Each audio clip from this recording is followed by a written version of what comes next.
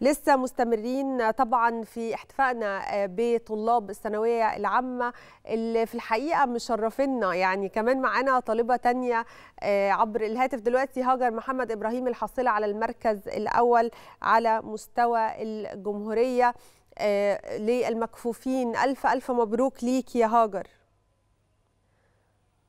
الله يبارك في حضرتك.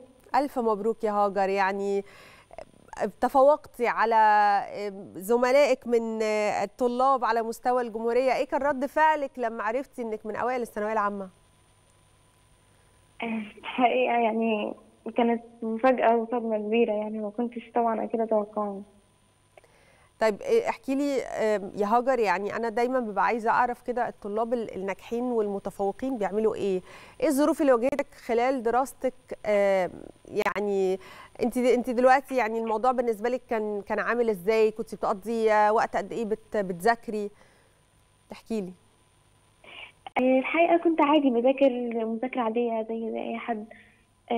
يمكن يعني يمكن أقل منه والله بس الحمد لله هو توفيق من ربنا طبعا في الأول وفي الآخر.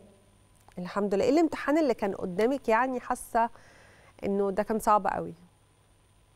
آه أنا يعني أكتر مادة كنت بخاف منها أصلا انجليزي وطبعا يعني كنت طالعة من الامتحان وأنا خايفة. يعني امم طب واحكي لي عن يعني أكتر حد كان داعم ليكي يعني في الفترة بتاعت الثانوية العامة يعني إحنا دايما بنقول إن الأهالي هم بيعيشوا فترة الامتحانات زيهم زي الطلاب بالظبط لأنه الموضوع بيبقى ضغط نفسي على البيت كله مش بس على طالب الثانوية العامة. مين من جدتك يعني مين من من عيلتك؟ إحنا عارفين إن أنت عايشة مع جدتك دلوقتي صح؟ مين من عيلتك أيوة. كان بيدعمك الفترة اللي فاتت؟ طبعا جدتي وبرده بابا وماما يعني ربنا يبارك لهم كلهم يا رب. كلهم يستحقوا الشكر والتقدير. يا رب. طب انت إيه اعلى درجة جبتيها في مادة إيه يا هاجر؟ التاريخ والجغرافيا كنت مقفلة فيهم الحمد لله. الحمد لله. بتحبي التاريخ عامة؟ سبحان الله ما بحبش التاريخ بس ما أعرفش قفلت فيه إزاي. سبحان طيب. الله. طيب إيه الجامعة اللي انت عايزة تدخليها؟ إيه الكلية اللي انت حابة تدخليها؟ حابة أكمل ألسن ألماني. ألسن ألماني. إشمعنى ألماني؟ بحب اللغة أصلا جدا.